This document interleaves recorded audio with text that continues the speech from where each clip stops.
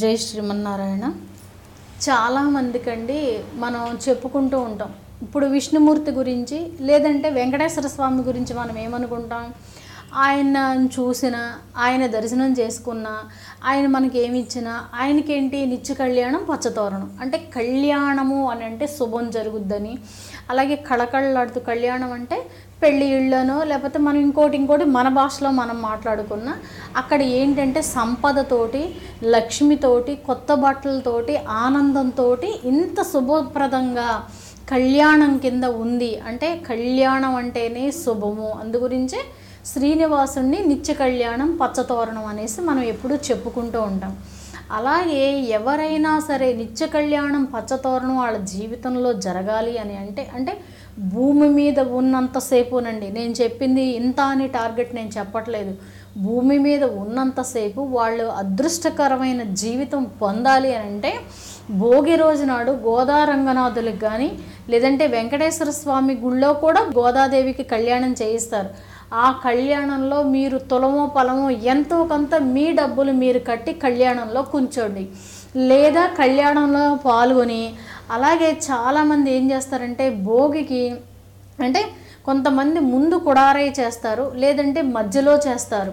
లేదంటే కొంతమంది భోగి రోజు నాడు ప్రసాదానికైనా సరే ఆ కళ్యాణంలో ప్రసాదానికి మీరు డబ్బులు కట్టినా ఎన్ అంత ఎందుకు భోగి కళ్యాణం చూసినా కూడా మీరు ఎక్కడైనా సరే వెంకటేశ్వర స్వామి గుళ్ళో కొంతమంది ఉదయం చేస్తారు కొంతమంది సాయంత్రం చేస్తారు.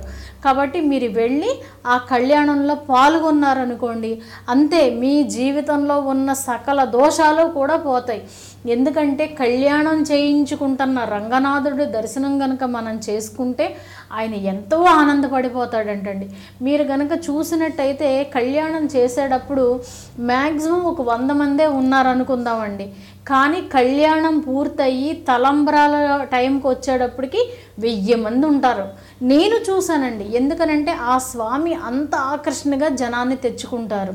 అంత జనము కూడా సంతోషంగా తర్వాత తరతరాలు ఉండటం కూడా నేను చాలామందిని చూశానండి. ఎందుకనంటే గోదాదేవికి గనక కళ్యాణం చేయించితే గోదాదేవి కళ్యాణంలో గనక మనం పాలు పంచుకుంటే గోదాదేవి కళ్యాణంలో మనం ప్రసాదం పెట్టిన లేదంటే ఆ స్వామి మూర్తులకి మనం అంటే బట్టల రూపంలో కావచ్చు ఏదైనా సరే ద్రవ్యం రూపంలో కావచ్చు సమర్పించిన మన జీవితంలో ఎలాంటి దోషాలు ఉన్నా కూడా ఐశ్వర్యానికి సంబంధించిన దోషాలన్నీ క్లియర్ అయ్యి ఆ తల్లి మనల్ని అతి శీఘ్రంగా కరుణించడం ఆ స్వామి మనల్ని అనుగ్రహించడం మనకు అప్పులు తీరిపోవడం అలాగే ఇబ్బందులు అన్నిటి నుంచి మనం తప్పుకుంటాం అనేది ఉంటుంది. అయితే మీ ఓపుకి మీకు ఎంత ఉంటే అంత?